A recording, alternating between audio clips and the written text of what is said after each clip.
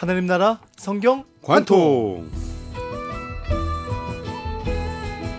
매주 이 시간 성경을 시원하게 뚫어드립니다. 하나님 나라 성경 관통 우리의 관통 목사님 세상의 빛 교회 이종필 목사님 자리해 주셨습니다. 할렐루야 목사님 안녕하세요. 할렐루야. 좋은 아침입니다. 좋은 아침입니다 목사님. 네. 자 지난주 데살로니가 전서 후서까지 사도 바울의 서신을 살펴봤었고요. 네네. 어 정말 이렇게 여러 지역들도 다녔던 것 같고 각 지역의 교회 성도들에게 보내는 편지 참 많이 달랐었던 것 같아요. 그렇죠. 로마서, 고린도전후서, 갈라디아서, 에베소, 빌립보, 골로새, 데살로니가까지 맞아요. 참 아홉 편의 편지가 각 지역의 교회 성도들에게 보냈던 편지예요. 예. 이제 네 권의 바울 서신이 더 남았는데 어. 이네 권은 이제 개인에게 보낸 편지입니다. 오늘 아. 디모데 전서, 디모데 후서, 디도서, 빌레몬서 이렇게 돼 있습니다. 개인에게 보낸 편지기 때문에 그렇죠. 사람 이름이에요. 어떻게 보면은 그 개인에 우리가 또 해당될 수 있는 거 아니겠어요? 아 그렇죠. 여러분에게 보내는 편지라고 생각할 수가 있을 거예요. 그렇습니다. 왜냐하면 이게 지역과 아무 상관없지는 않지만요. 당시에 지역마다 교회가 세워지고 지도자들이 파송되는 과정에 있었어요. 예. 그래서 그 교회의 대표자 지도자들에게 에베소 교회의 디모데, 뭐 그레데 섬의 디도 이렇게 편지를 보냈는데요. 사실은 요즘에 우리는 목회자와 성도의 구분이 점점 없어지고 음. 점점 우리 모두가 주의 나라를 위해서 다 일을 하고 있잖아요. 왕 같은 제사장처럼. 그렇죠. 우리 모두가 또 우리 직업 영역 속에서 하나님의 영광을 돌리고 있잖아요. 예. 그러니까 사실은 이 지도자들의 보낸 편지라고 하지만은 요새 우리에게는 모두에게 보낸 편지다. 이렇게 봐도 괜찮을 것 같습니다. 좋습니다. 디모데 전서 관통이고요. 그러면 이 디모데 전서는 제가 보니까 6장까지 있더라고요. 네. 1장부터 6장까지. 네. 제목을 붙여주시면 어떻게? 네, 저는 제목을 우선은 목회에 대한 지침이라고 붙였고요. 목회에 대한 지침. 네, 어. 조금 더 부가 설명하자면 예. 은 그리스도인으로서 어떻게 이 땅에서 하나님 나라를 위해서 사역할 것인가 그 전체적인 지침이라고 해도 괜찮을 것 같습니다. 그리스도인으로서 어떻게 이 사회에서 하나님의 자녀의 그 역할을 감당할 그렇죠. 것인지 네. 목회에 대한 지침. 그러니까 목회하니까 꼭 목회 목사님들만 들어야 되겠다. 그게 아, 아, 니고 그건 아닙니다. 오늘 이 네. 아침 방송을 듣는 모든 성도님들이 함께 동역자가 아마 주님의 일을 감당하길 원한다. 맞습니다. 그런 말씀일 것 같고요. 디모데의 전서 개인에게 쓴 편지 배경을 한번 설명해 주세요. 네, 이미 여러 차례 언급을 해드렸었는데요. 이 에베소에 파송된 사랑하는 제자 디모데, 이 디모데는 유대인 어머니와 헬라인 아버지 사이에서 태어났었잖아요.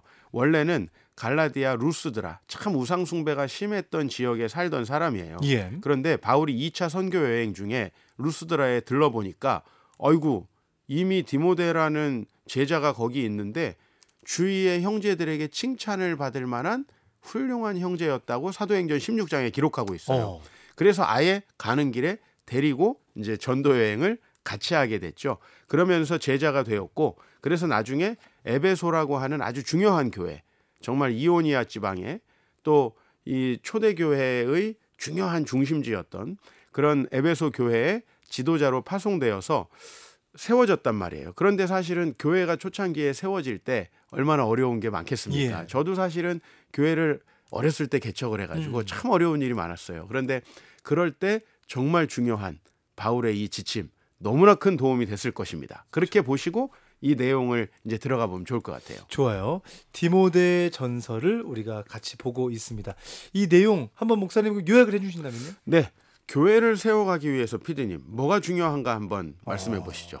교회를 뭐가 중요한가. 세워가기 위해서. 네, 저도 어떻게 보면 인생이 네, 교회를 세워 나가기 위해 그렇죠. 어떻게 하면 다 했던 것 같아요. 맞아요. 아버님도 또 대학교 목사님이셨고 1학년 때 개척을 하셔가지고 이게 이미 속이 들은 상황이고 예수님을 사랑하는 상황이라 신학을 한 건 아닌데 맞아요. 마치 전도사님처럼 해서 모든 일들을 했던 기억이 나는데 교회를 세워가기 위해서 근데 네. 그때 이 디모데 전서를 지침으로 삼아 오늘 이런 성경 관통을 들었었다라면 여러 시행착오를 덜 했겠다 그런 마음은 있네요 목사님. 네. 제가 교회를 이렇게 어떻게 세워가야 되는가 생각해 보면 디모데전서는 답이 딱 나와요. 어, 먼저 1장 누가 중요하죠? 세우는 사람. 목회자 자신. 그렇죠. 어. 그래서 사역을 하는 자신이 얼마나 말씀 안에 서는가 이게 가장 중요하잖아요. 그래서 아. 일 1장이 그거예요. 사실 목사님께서 뭐 아주 단순하게 말씀을 선포하는 그 목회자가 말씀 안에 서 있는 게 중요하다라고 하셨는데 네. 너무 단순한 건 이게 정말 단순한 얘기인데 근데 그게 안 되면 다 무너지는 이거 본, 거예요. 본질이잖아요. 그렇죠. 뭐 말 그대로 뭐 책 아니면 유명한 세상의 지식 네. 한번 정도는 이렇게 반짝반짝하게 설명할 수는 있겠으나 네. 그러나 하나님의 말씀이 담긴 그 말씀의 본질 그렇죠. 말씀 가운데 내가 거듭나고 있지 않고 교훈받고 똑 저도 방송 똑같아요. 그렇죠. 내가 세워지는 게 목회자가 얼마나 성장하느냐에 따라 성도님들이 그 밑에서 양육을 받잖아요. 음. 그러니까 이게 너무나 중요하고요. 어. 두 번째 이장은 이제 성도들은 남성과 여성으로 구분이 돼요. 예. 쉽게. 그래서 남성의 특징, 여성의 특징이 있으니까 그들에게 지침을 주고 있어요. 어, 2장. 네. 그다음에 세 번째는 음. 이제 동역자들을 세워가야 되잖아요.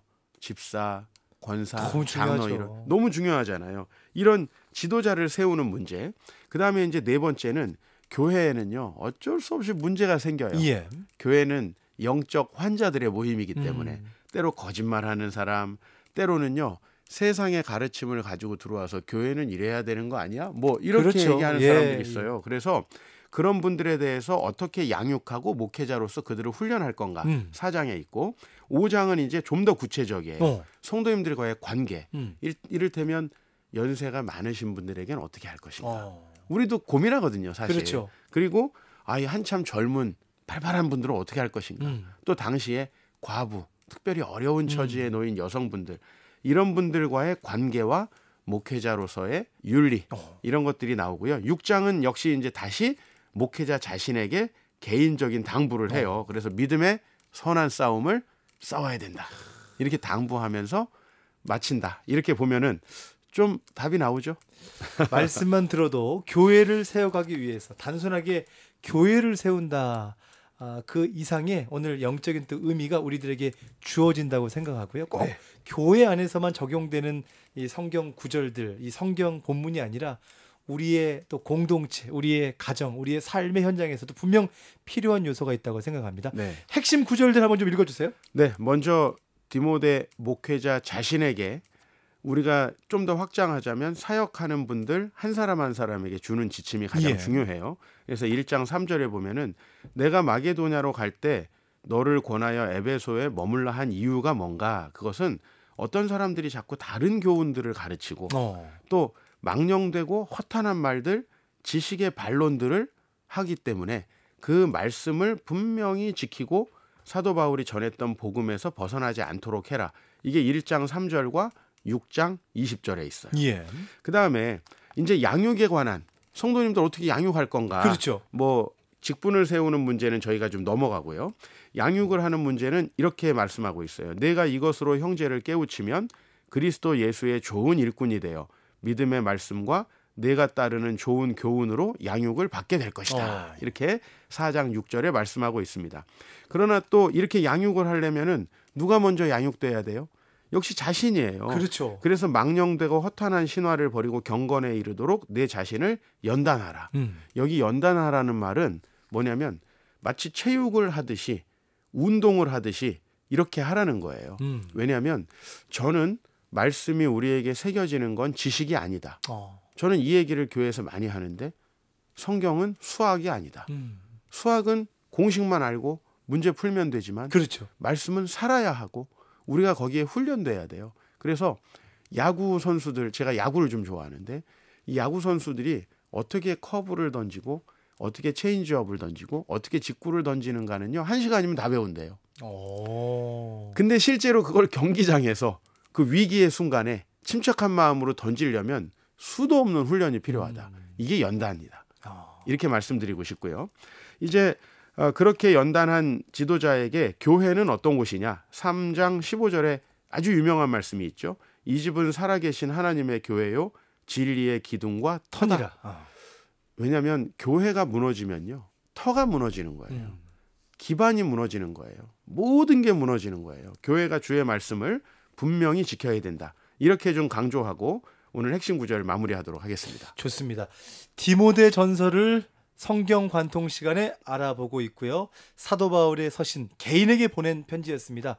디모데에게 권면했고 보냈던 편지인데 이 디모데가 분명 우리가 될 수 있다고 생각하고요. 그렇습니다. 꼭 어떤 목회자에 대한 지침이 아니라 아, 정말 바른 말씀 또 여러 가지 목회적인 상황을 또 우리의 삶의 형공으로 쭉 비춰본다면 아주 영적인 유익이 있다고 생각합니다. 네. 꼭 한번 읽어보시면 좋겠습니다. 1장부터 6장까지인데 목사님 오늘 이 성경관동 시간 우리 아침 방송 가족들이 디모데하고 나하고 혹시 뭐 상관이 없을 것 같다. 그렇지만 그게. 아니 그게 아니란 거잖아요. 어, 예. 마무리 권면해 주시면서 인사하면 좋겠습니다. 네. 교회를 섬기는 모든 이들은 사실 당시의 디모데라고 볼 수 있습니다. 어. 우리 자신이 먼저 자신을 연단하고 훈련시키지 않으면요. 이렇게 한번 생각해 보세요. 엄마 아빠를 신실하게 믿고 따랐는데 엄마 아빠가 넘어지는 모습을 보면 자녀가 너무 실망하겠죠. 그렇죠. 우리가 교회에서 주일학교 교사를 하시든 또 성가대원을 하시든 또 새가족 음. 양육을 하시든 어떤 이들을 섬기시든 간에 우리가 그 모든 일들을